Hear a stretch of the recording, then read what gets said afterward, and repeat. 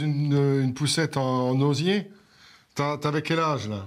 Poussette en osier, grande roue à rayons cerclés de fer, barboteuse, cela fait presque un siècle que cette photographie a été prise.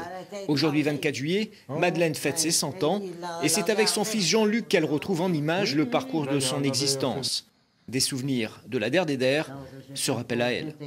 J'ai grandi, pour ainsi dire, avec les Américains. Ils habitaient enfin chez nous. Enfin, chez mes parents.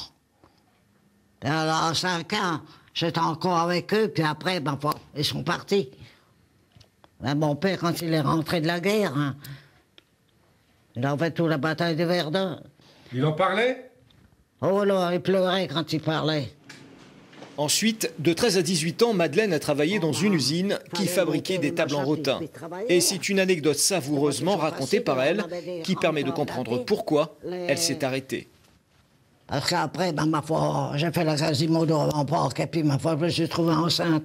Puis après, mon mari était en déplacement. Et puis le jour qu'il s'est pointé pour venir, ben, ma foi, après, on s'est mariés. Voilà. Avec Alexandre, son mari décédé à 95 ans, ils ont eu trois enfants. Grand-mère, arrière-grand-mère, arrière-arrière-grand-mère, elle est aujourd'hui la seule centenaire de la Max. Et le maire tient à honorer cela. Nous avons prévu donc d'inviter euh, tout le village. Euh, nous sommes organisés avec la famille. Cela fait un an de préparatifs. Et euh, donc, pour l'instant, nous avons quelques 200 réponses positives, donc 200 personnes qui vont être présentes à l'apéritif. Madeleine, du haut de ses 100 ans, est restée une femme pleine de force et de vie, dotée d'une bonne dose d'humour. Tout ce que je demande à celui-là là-haut, le jour qu'il vient m'appeler, m'en mettre d'un seul coup. La machine dans quelqu'un, ma foi. On la fait marcher, puis c'est tout.